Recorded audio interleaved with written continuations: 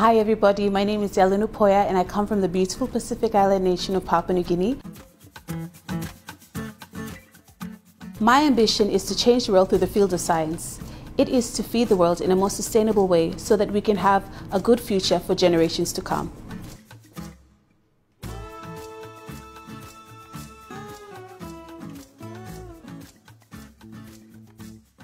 Pacific Island nations are vulnerable, especially when it comes to climate change. I've always had a passion in my heart while growing up in Papua New Guinea is to go out and change society, change the world. When I received my offer to come to the University of Glasgow, I was excited because I knew that I was going to be part of something that could change society, that could maybe benefit my people in a way.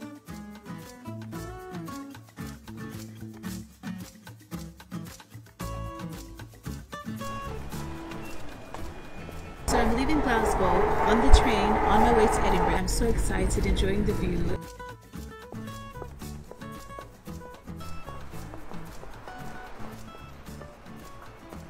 I'm here inside the Scottish Parliament. I've never been inside of a parliament before and I am just truly humbled and it's a very, I'm just honored to be here.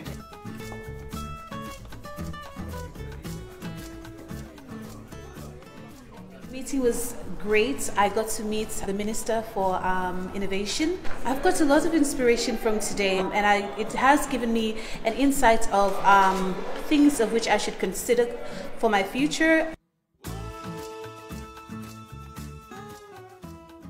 Now, I would like to encourage all the little girls out there who have a dream and a passion to change the world and if you see yourself as somebody that is a science geek like me, don't feel that you are limited. Don't limit yourself. Don't doubt yourself. My encouragement is to just go for it. We need more girls in science.